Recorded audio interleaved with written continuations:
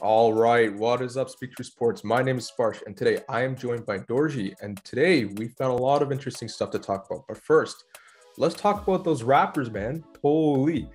After that pretty bad performance, you could say in their home opener, the Raptors bounced back, winning by 32 at TD Garden. What was your thoughts about this game, Dorjee? Bro, honestly, I'm just so happy to see us like play as a proper team. Like compared to last year in Tampa when it was like pretty dysfunctional, like the way we play on defense. On offense, we weren't that bad, but this game showed that we're we're so much better than we're supposed to be projected for this season. And the fact that we blew out Boston at TD Garden, Toronto Domain, um, and yeah, that was like their biggest loss at home since 2003. Mm-hmm. 32 points. So um, yeah, I just want to just mention before we talk about obviously Scottie Barnes, just the masterclass from Nick Nurse. Honestly, his rotations were very good today, or the day before. Um, and yeah, he kind of uh, outcoached Ime Udoka from the Boston Celtics. The way he like our lineups were really well constructed to guard Tatum and Brown. And that's probably the reason why they shot so poorly today. Yeah, honestly, man. So just to talk about Scottie Barnes' stat line, he finished with 25, 13, and two. So points, rebounds, and assists.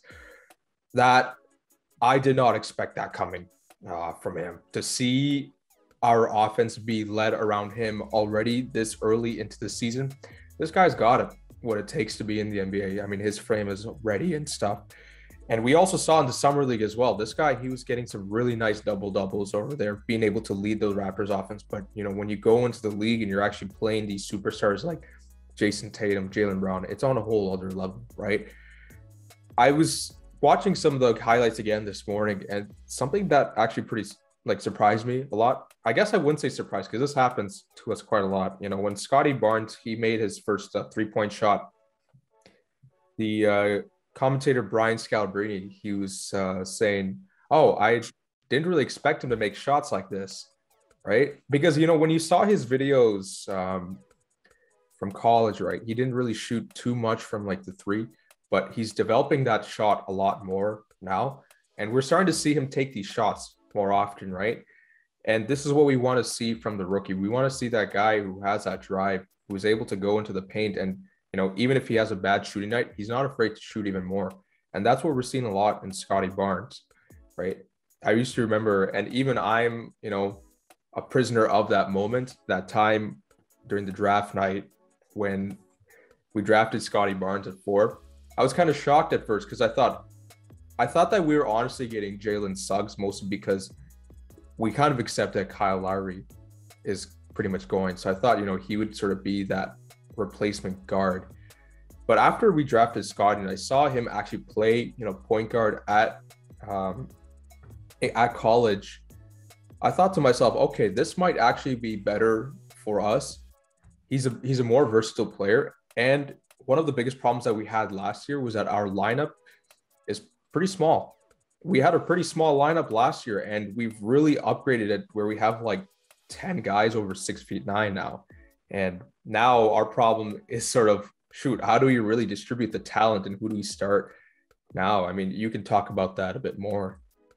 Yeah, just to go off that, um, the fact that we have so many players who are like over six foot nine, it's a really good problem to have for Nick Nurse as like the amount of like rotations we could have to have like I think we have like two or three lineups that could be all six nine players if we're if we're being realistic.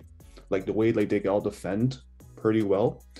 And the only thing that's they're kind of lacking is obviously shot creation. But besides Siakam, they can't really create their own shot. But as you saw in last night's game, Precious Achiuwa is he's something special. Like not just at, in terms of rebounding and blocking shots, he could move coast to coast as a guard.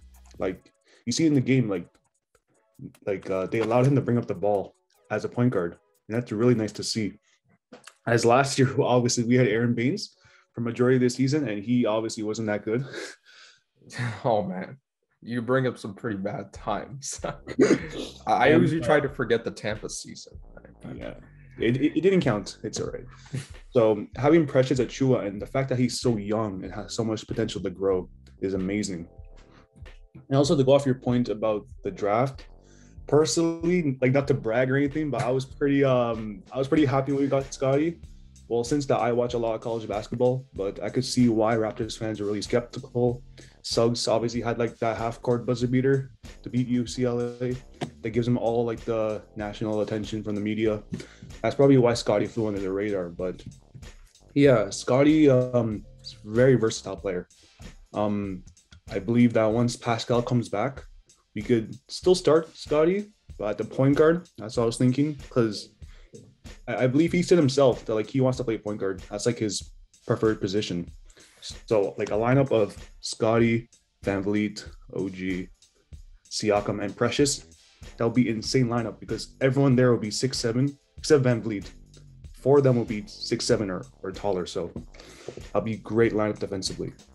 Yeah, I, I think that would actually be a pretty good lineup. Uh, I mean, Scottie can definitely bring the ball up the court pretty well, and and you know this guy's always moving around, right? So I think that could actually be better than just having him like at center where he's just sort of mainly at the rim. We can let Precious do that, and yeah, I, I know we can also talk about Precious Achiuwa because we also got that from the Lowry sign and trade, right? And Dragic was also one of the other pieces involved, and what a performance by him 15 points and 15 rebounds. This is something that we really needed last year. Somebody who could definitely rebound the ball and somebody who can definitely keep up with the other centers. And Precious, he's such a young guy and he's able to do this already.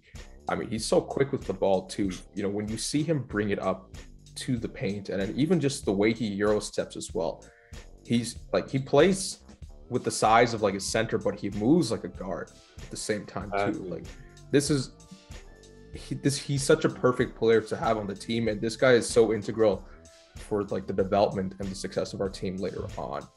And also Gary Trent Jr. in our lineup as well. This is something that the Raptors are going to have to look on a bit later, but you know one thing that is really noticeable about Gary Trent Jr. is that he has a lot of success when he's in the main rotation. And he's a bit off when he's, you know, comes off the bench. This is sort of similar to what we had uh, with Norman Powell last year. But you know, again, this is honestly a good problem to have because you know we've got a lot of talent that we can build around, and you know our team is still waiting for Siakam to come back. Right, Siakam's going to have that bounce back season. Definitely going to get 20 plus points for him, and we're going to have some more shot creation as well. Right, the Raptors are still doing pretty poorly, I guess you could say, offensively in terms of shot creation and sort of driving into the paint. Right, we are currently ranked last in the yeah, league. But but what we see defensively, right? Even OG was having a pretty off game as well. I mean, yeah, it takes some time to get back into it, but the way he was sort of guarding Tatum and Brown during this game, right? You make it up for that. This is uh this is the formula for winning success for the Raptors. That is what I would like to see more for us in the future. Yeah, for sure. Just like to mention that OG point, I believe that he'll make an all defensive team this year the way like he is so good defensively. He could guard the, perim- the perimeter, guard the interior. Basically, he could guard all positions very well. And that's great to see as if he's not playing well offensively, he's gonna give it all defensively. That's the beauty of OG. And um just to mention Gary Trent, 20 points on pretty good efficiency. That's what I like to see because like as you mentioned before, Norman Powell, he he's all right off the bench. Like he has his moments, but when he starts, he's freaking incredible. Mm-hmm. He has some mm-hmm. good performances. So honestly, and at first I was thinking that Dragic should start because um, our lineup like kind of lacks playmaking. But as we can see in the past two games, VanVleet, first game he had four assists, and the one last night he had nine assists. So he's actually doing uh, better as a facilitator, as he's primarily more the shooting guard but I think if we run Trent um, at the shooting guard spot for now and Dragic off the bench, it'll be much better for us because I believe Dragic can help our second unit to get some buckets as they can't really create their own shot. So, um, uh, yeah, just having uh, Trent start for now is great. And yeah, to go off the precious point, um, he's just a great all around player. Um, I believe that in Miami, like no offense to Miami fans, but I feel like he was kind of limited with you guys. Like in most games I've seen him, he just either like just you know just had to rebound the ball or just dunk. But with us, he's you know he's handling the ball more. He's shooting threes now. Like he can make threes. I feel like if he takes more jump shots and gets more comfortable, he'll be a really good all around player. Yeah, I mean, he did say in an interview a while back. I remember this. He said he wants to be the next Kawhi-like player for the Raptors. So I mean, keep your eyes out for that. He's definitely on the verge of becoming that player if he keeps it up. And I know I said Jalen Green is my rookie of the year, but I mean, hey, if Scottie keeps this up, yeah, you know, I, I wouldn't be Yeah, honestly, man. I, I wouldn't be surprised if I see this happen too. You know. I mean, like, like no bias, like bias aside, I believe that Scottie's the best rookie right now. As of Yeah. right now, because um, Cade hasn't played yet.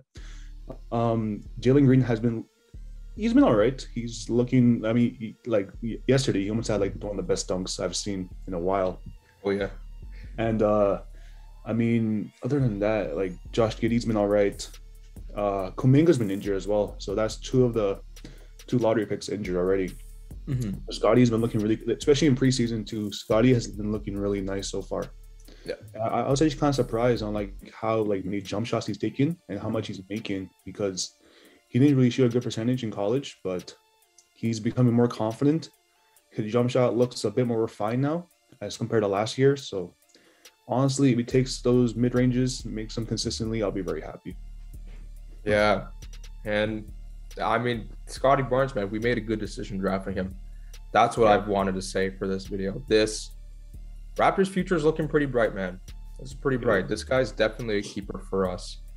Anyways, that is it, Speak Truth Sports. If you've gotten this far to the video, please make sure to like, comment, and subscribe to our channel, and make sure to press the bell for push notifications. That way, you're always up to date with our content, and it makes us more excited to also post some content for you. So keep an eye out because we're going to be posting lots of content as this season is going through.